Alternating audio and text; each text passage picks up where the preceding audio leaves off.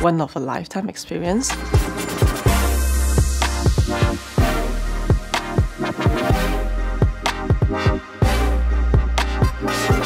It will be really a year of celebration.